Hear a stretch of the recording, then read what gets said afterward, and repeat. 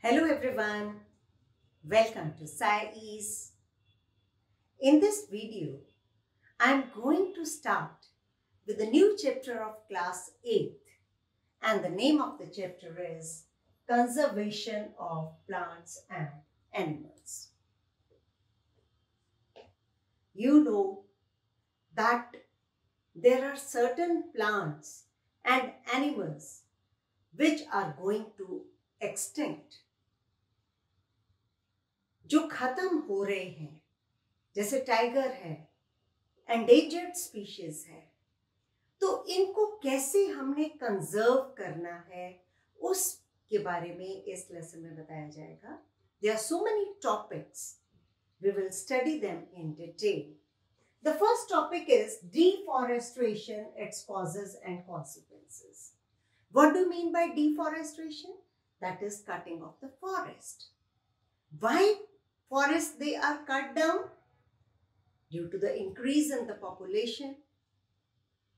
Land चाहिए, घर बनाने के लिए इंडस्ट्रीज़ के लिए, और for the cultivation okay so for that deforestation that is done और उसके कॉन्सिक्वेंसेस क्या हो रहे हैं उसके कॉन्सिक्वेंसेस ये हो रहे हैं कि जो कार्बन डाइऑक्साइड है एटमॉस्फेयर में जो कि प्लांट्स यूज़ करते हैं फॉर मैन्युफैक्चरिंग और सिंथेसाइजिंग देयर फ़ूड प्लांट्स कम हो गए डिफॉरेस्टेशन से और क्या हुआ कि कार्बन डाइऑक्साइड की कंसंट्रेशन ज़्यादा हो गई। उसके बाद इरोजन्स वाटर होल्डिंग कैपेसिटी जो है वो कम हो गई प्लांट्स वेजिटेशन उतार दी गई तो फिर इरोजन के चांसेस ज़्यादा हो गए।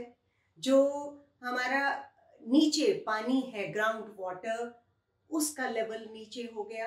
तो डिटेल में मैं जब ये चैप्टर शुरू करूँगी और ये टॉपिक लूँगी then I will explain the next topic is conservation of forest and wildlife अब अगर हम फॉरेस्ट काटते हैं तो उसमें जो वाइल्ड लाइफ है ओके okay, प्लांट्स तो हैं ही है उसके अलावा एनिमल्स हैं, छोटे, बड़े माइक्रो ऑर्गेनिजम्स वो सारे भी, उनका हैबिटेट भी हो गया खराब, वो भी मर जाएँगे या इधर उधर भागेंगे, उनका हमने जो रहने की जगह थी, वो ही खत्म कर दी। तो हमें उसको कंजर्व करना है। इसीलिए तो वाइल्ड लाइफ जो है, उसमें कुछ स्पीशीज ऐसी हो गई हैं कि जो खत्म होने वाली है या कुछ खत्म हो चुकी है okay so in this topic I will take up conservation of forest and wildlife forest को भी कंजर्व करना है और वाइल्ड लाइफ को भी जो फॉरेस्ट के अंदर रहती है, उसको भी कंजर्व करना है। Next is biosphere reserve okay biosphere reserve क्या है? They are the areas they are the areas in which biodiversity that is conserved तो हम ये बायोस्फीयर रिजर्व्स के बारे में, उनके नाम भी, वो सब पढ़ेंगे।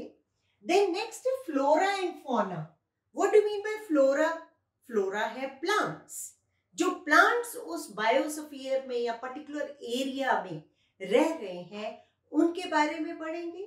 फौना दे आर एनिमल्स और जो एनिमल्स हैं, वो उस पर्टिकुलर एरिया में रह रहे हैं, उनके बारे में पढ़ेंगे। Then is the endemic species what are endemic species? Endemic species, they are those which live in a particular area. Okay? वो स्पीशीज हमें वो पर्टिकुलर एरिया में ही पाए जाते हैं, चाहे वो प्लांट्स हैं या फिर एनिमल्स हैं तो पर्टिकुलर एरिया में हमें वो मिलेंगे। ये टॉपिक लिया जाएगा। Next is wildlife sanctuary and national parks आप लोगों ने देखा है कि क्योंकि एनिमल्स वो उनको खतरा है गवर्नमेंट को खतरा है कि ये वाली स्पीशीज खत्म ही ना हो जाए। क्योंकि बीच में से हम ये सोचते हैं कि हमने इसको लिजर्ड को मार दिया या स्क्वेल को या स्नेक को मार दिया तो क्या ही फ़र्क पड़ा? लेकिन वो जो पूरा फ़ूड साइकिल है या फ़ूड वेब है, वो इकोसिस्टम सारा हिला देगा। उसको मारने से क्या होगा कि इकोसिस्टम पूरा हिल जाएगा। उसके बारे में तो हम सोचते ही नहीं है। Man himself that is responsible hunting करते हैं या कल्टीवेशन के लिए लैंड चाहिए तो डिफॉरेस्टेशन कर दिया। तो हम वाइल्ड लाइफ सेंचुरीज वो जगह होती है जहाँ पे कि वाइल्ड लाइफ को बिल्कुल सेफ़ वहाँ पे आ, उनके लिए जगह वो हुई और उस उनको नेचुरल हैबिटेट दिया जाता है। और वहाँ पे वो पूरे प्रोटेक्टेड होते हैं कोई वहाँ उनको मार नहीं सकता दे आर फुली प्रोटेक्टेड इसी तरह से नेशनल पार्क्स भी हैं, जहाँ पे जो एंडेंजर्ड स्पीशीज को रखा जाता है और पूरी प्रोटेक्शन दी जाती है। तो बहुत सारे हमारे कंट्री में नेशनल पार्क्स हैं वाइल्ड लाइफ सेंचुरीज हैं ओके बायोसफियर रिजर्व्स हैं, जिनके बारे में मैं डिटेल में बताऊँगी। नेक्स्ट इज़ माइग्रेशन माइग्रेशन क्या होता है? आप स्कूल जब छोड़ते हो और कॉलेज में जाते हो तो माइग्रेशन सर्टिफिकेट चाहिए होता है। ठीक है ना? दूसरी जगह, इसी तरह से जो कोल्ड कंट्रीज़ हैं, वहाँ पे कुछ बर्ड्स हैं, जब बहुत ज़्यादा ठंड हो जाती है साइबेरिया वगैरह में तो क्या होता है कि वो बर्ड्स बहुत दूर तक ट्रॉपिकल कंट्रीज़ में आ जाते हैं। इंडिया में भी आपको नज़र आएँगे। माइग्रेटरी बर्ड्स उनको कहा जाता है। तो इसके बारे में मैं इस टॉपिक में पढ़ाऊँगी। नेक्स्ट आपको बताएँ रिसाइकलिंग ऑफ़ पेपर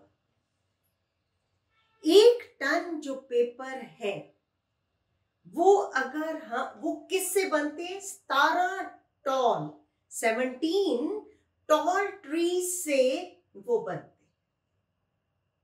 ठीक है? एक ton paper that is equal to कितने ट्रीज से बनेगा? सेवनटीन लॉन्ग ट्रीज तो इसलिए हमें पेपर को वेस्ट नहीं करना ओके okay?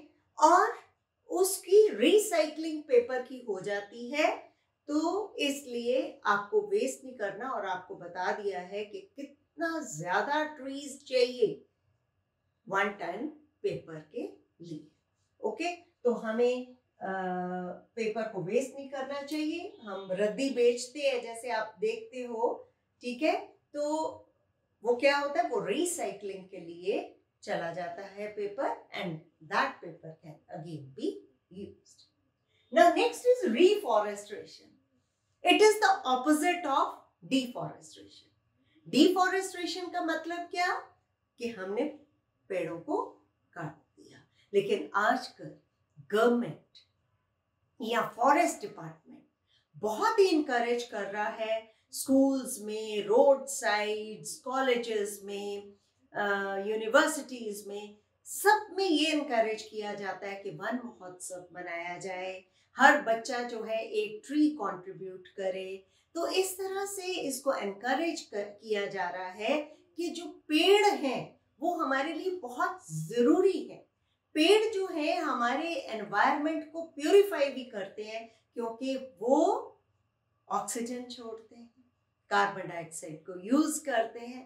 तो वो जो साइकिल है, वो हम डिस्टर्ब कर रहे हैं by deforestation so reforestation that is the planting of more trees so I will come in my next video and take up the topic deforestation, its causes and consequences. Till then, thank you very much.